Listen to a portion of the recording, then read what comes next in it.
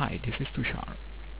Today we are going to see the tutorial how to drag and drop the My Computer and Control Panel shortcut on Windows 8 desktop. When I first time installed the Windows 8 Consumer Preview Edition, I observed that only the recycle bin icon is on the desktop, nothing is other. I wondered how to create the shortcuts. If you create the shortcut like in this way, like I open the libraries and drag and drop the desktop shortcut. This is the shortcut not actually the my computer. Okay?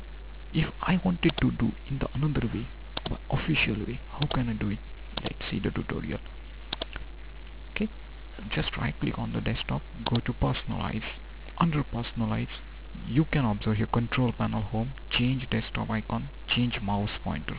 Click on the change desktop icons in this you can see the desktop icon. Click on the my computer control panel. If you want the network you can control the network. Click on the apply. Okay. Now you can also here the my computer recycle bin network and the control panel symbols are there. Just see the windows are appearing. Thanks for watching us